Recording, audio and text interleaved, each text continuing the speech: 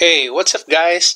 This is Rich again for another edition of Learning with Rich. So as a continuation on our uh, mechanical uh, topic, so after we set up our project, our architectural model, after we place it in our uh, MEP project, so what we are going to do or what I'm going to show you this time is I'm going to show you how to place mechanical equipment in your uh, project.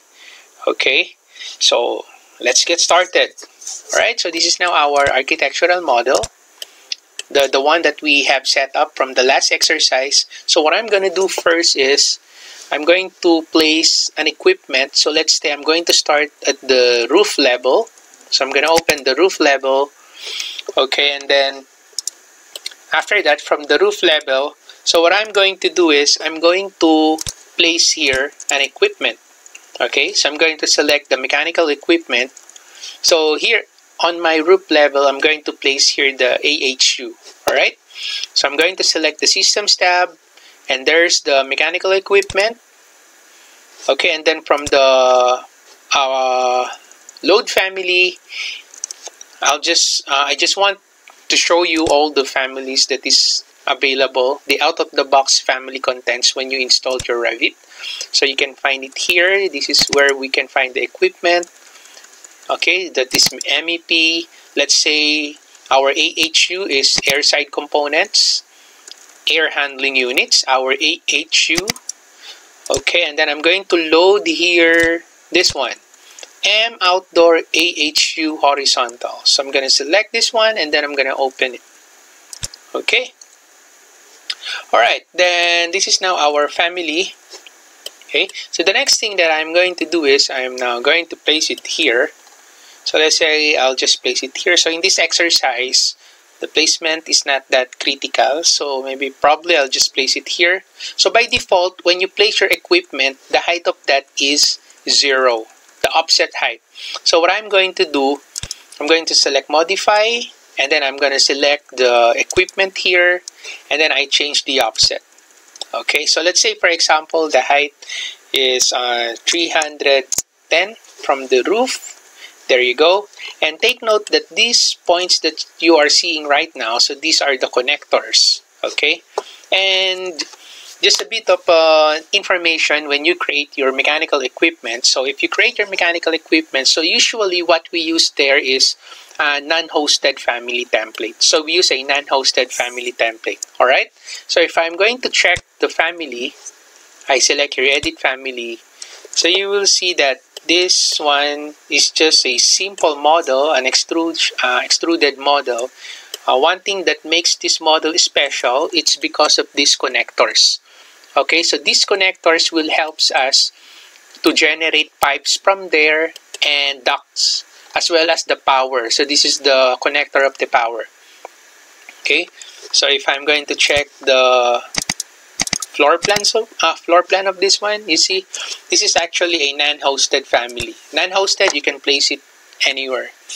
Okay, because some of the family is wall hosted, meaning you need to have a wall in order for you to place the family.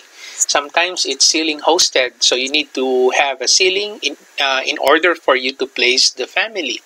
But usually when we create, or most of the time, or practice, when you create a family, make sure that that family is non-hosted. Okay? So non-hosted. Anyway, so I'm now going to close this. So I'll go back to our project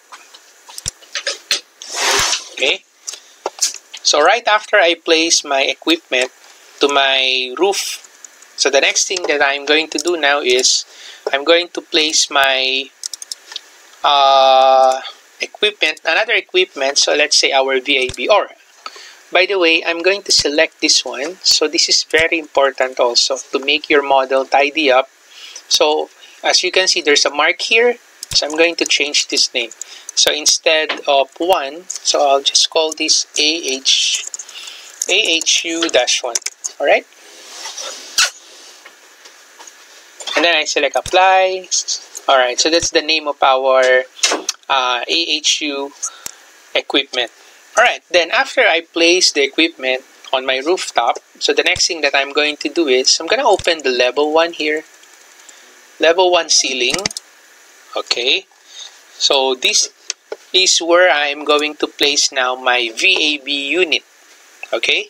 The VAV unit. So let's say I'm going to place it somewhere here. So from the systems, again, mechanical equipment. Alright, so from the properties, I, I click the type selector and then after that I'm going to look for VAV. Okay, this one MVAV unit parallel fan powered. So let's say I'm going to select uh, size 2 300 mm inlet. So I select this one. Okay, again, just like your uh, VA, uh, I mean your AHU by default, the height of your VAV or the offset is zero. That's why you will notice you are not able to see it here on your ceiling ceiling plan. Of course, if you are in the floor plan, you'll be able to see it. But if you are on the ceiling plan and the offset is zero, so you will not be able to see your mechanical equipment. That's why you need to change the offset. So let's say, for example, the height is 3050. There you go. So you will now be able to see your equipment. Okay. Then after that, I'll just place my equipment. So let's say I'll just place it here. There you go. And then I select here, uh, modify. Okay. Now, if you want to rotate your model, let me just go ahead and turn off the thin line so I can see the line weight of my equipment. Now, if you want to rotate your equipment, so let's say the placement is not correct for your design, so you just need to select that and then after that you can press spacebar okay just like that if you want to rotate your model okay and then you can also drag that. You can move if you want. So it's up to you. Okay you can select that and then you can use the move command or you can also copy. And then as you notice there's this uh, in for your supply air and then there's the out for your supply air and then you also have here your uh, return as well as the power. Okay? Now the next thing that I'm going to do is after I select my VAV unit I'm going to change now the mark here. So it's uh, it follows the last mark that I have placed on my first AHU the AHU-1 so automatically it becomes AHU-2 so it's pretty cool right? But this is not my AHU so this is my VAV so I just call it VAV dash 1 alright and then I select here apply. Okay. Then after that I'm now going to copy this. So let's say I want to place another one somewhere here. So I'm going to select this equipment. I'm going to copy. And then let's say I'm going to pick here for the base point and then I'm going to copy it. Okay so let's say I'll just place it here. There you go. And then I select apply. Alright so again you can use your arrow if you want to move your equipment. Okay? Then I just select here modify. And then before I deselect check this out. So automatically it renames to VAV-2 so it's pretty handy later on if you're going to tag your VAV unit.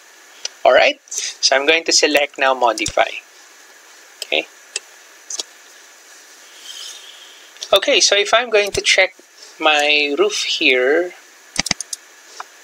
okay, so this is now the equipment. And then if I check the 3D view, this is my uh, AHU. So in my 3D view, this is how it looks like. Okay. Of course, you can still copy your uh, VAV if you want to different floors or different part of the first floor. So it's up to you. But at least you now have an idea about the equipment. Okay. So just remember the equipment. If you're going to create the family, make sure it's non-hosted. All right. And make sure you are going to place now the, uh, make sure if, if you're going to create, make sure you place the connectors Alright, so going back to my level 1, okay, so let's say I just want to see that in my section view. So I select my section. Okay, so let's say I'm going to create it here. This is my section from here to here. Okay. Alright, then I select modify. Then I double click the head of my section to open the section. there you go. Okay so this is now my equipment here. This is my VAV this is my AHU so if I want I can create a duct here and then it will go up right? Okay. So in 3D view it looks like this